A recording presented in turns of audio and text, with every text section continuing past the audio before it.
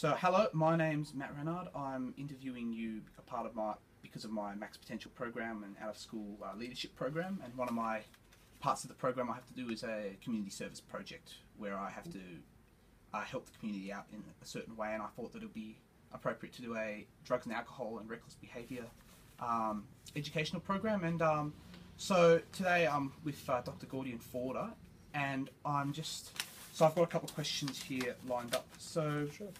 Um, question one. So, what was your career pathway into becoming director of emergency at St Vincent's Hospital? It's like all these things. Uh, you can have choice, but the there also is chance and things. I mean, uh, my parents were doctors, my wife's a doctor, and as a little kid, I must have been a brat. As a little kid, even less than 10 years old, I knew what I wanted to do. And obviously, my parents or whatever, I wanted to be a doctor. I actually wanted to be a GP surgeon in the town, a small, not very popular town near where we had our Christmas holidays always. That's Mhm. whatever. And uh, number two, I was going to be a carpenter. And number three, I was going to be, get ready for it, a long distance truck driver, listening to and singing country and western songs. but, there, there you go. But anyway, and obviously it's so hard. You're going to be so lucky to get into medicine, etc., uh, etc., et uh, and things. Uh, but uh, and then so I became a surgeon. I actually worked in the country for a while, uh, and then there was death in the family, etc., etc. And my wife found a, a job where I was a surgeon. I was at Sutherland Hospital here. I was a surgeon and also had to look after the emergency department. In those days, the emergency department was called CAS. It was really the pits of the hospital, and there was really no structured way or organised way to look after the patients. It was the last man out, basically whatever. It was really regarded as a place you really don't want to be. Uh, and I was part of reshaping all that and emergency medicine, and I realised that was what I really then and still care for.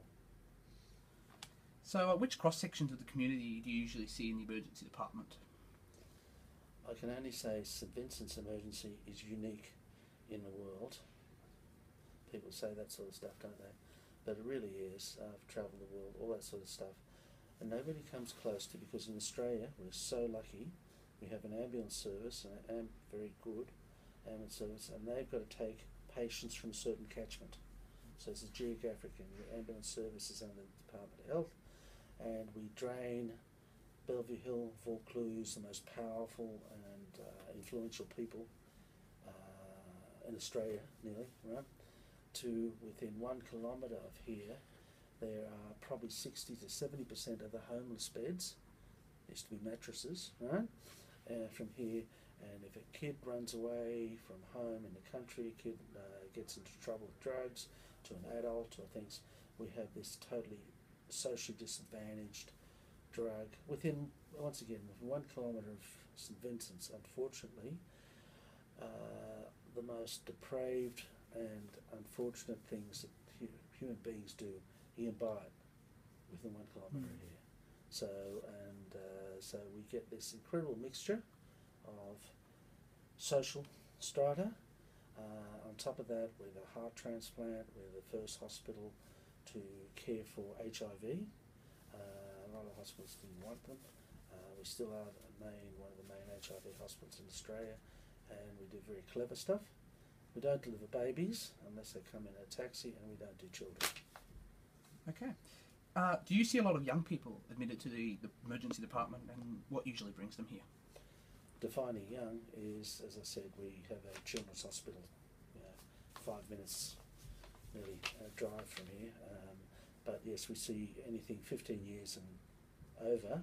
So the teenagers, the people who are trying drugs, uh, teenagers who are getting into trouble with alcohol, we see because it's the party precinct. Yeah. Uh, so we heaps and heaps of uh, teenagers, and we have the highest numbers and concentration of young people getting in trouble.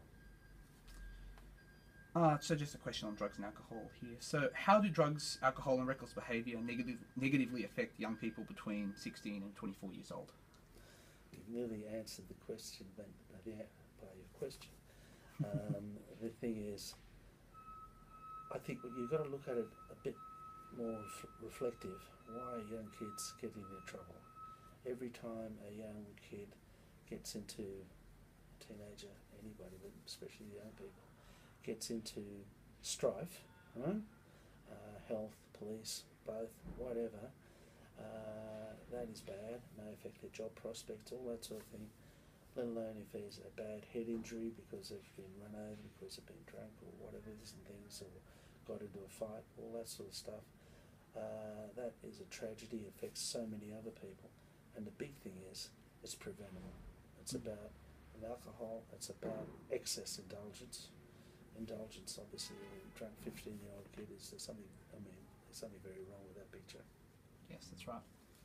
Okay, so um, how do drugs? So how do drugs, reckless, drugs, alcohol, and reckless behaviour affect uh, individuals and also their communities, both socially, economically, and physically? So just a bit of a follow-on question. Okay. The, uh, the thing is, the uh, really the ripple effect. Something happens, but it really affects everybody and everything. Very first is the, the patient themselves, the individual.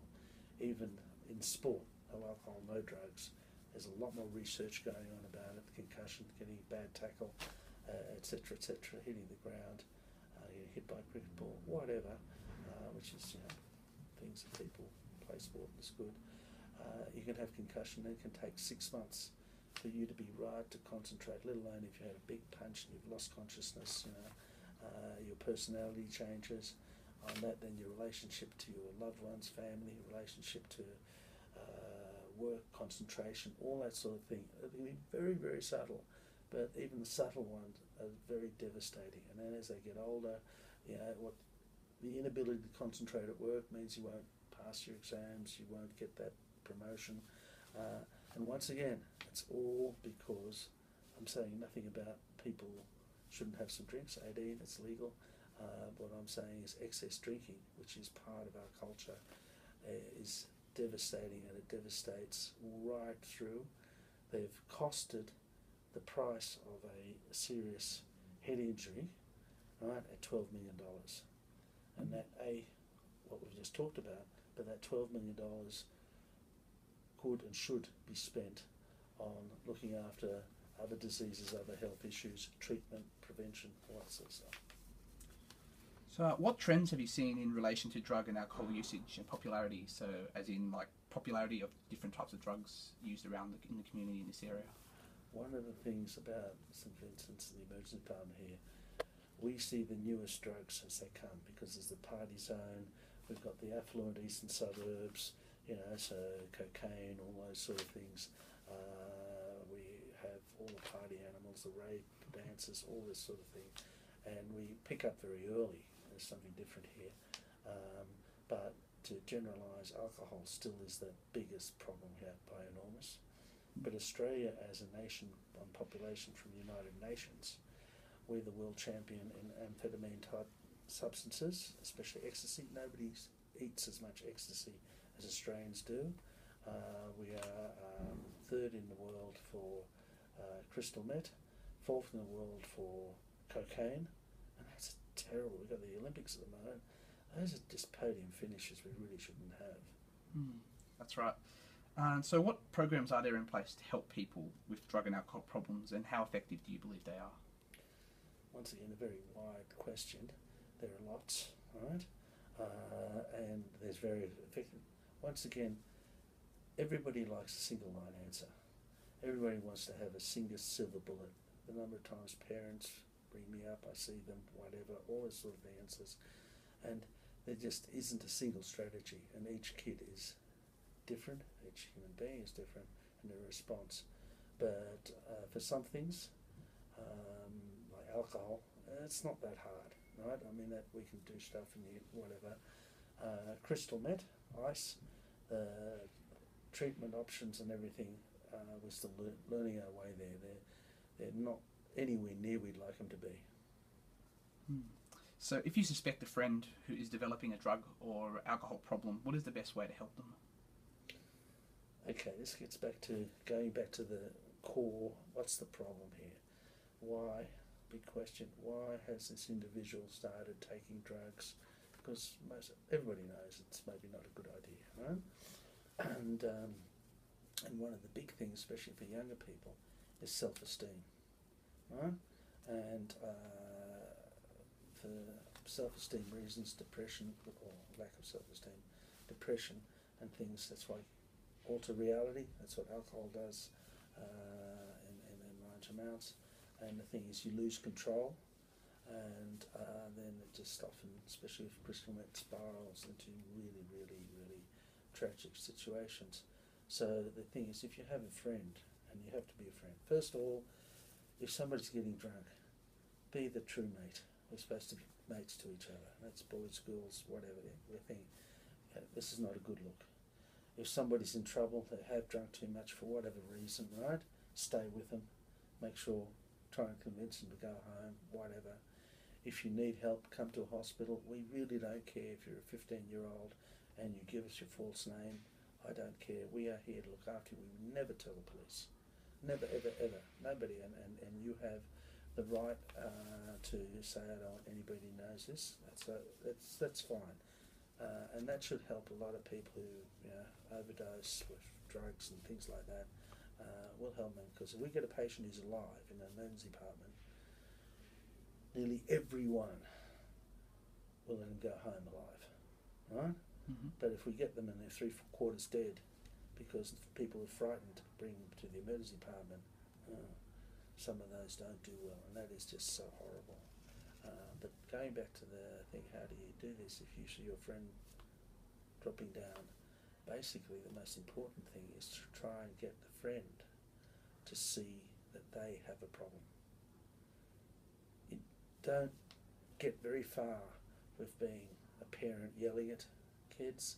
You don't get very far if the patient themselves doesn't think there's a problem. No one's words, accept it because if they don't accept that, they're sure as hell not going to accept any treatment or thing, which is which takes a thing and takes you know patient cooperation. It could be counselling, it could be all sorts of things. Might have to see a psychiatrist. Well, they're not mad, but, but seeing a psychiatrist is not the thing. You, first thing you tell anybody you meet in the bus, you know. Um, so, but the very first thing is to get your friend to acknowledge and accept there is a problem, and then the battle's half won. Okay, Dr. Gordon Fulde, thanks. Thank you very much for your time. Pleasure. Okay.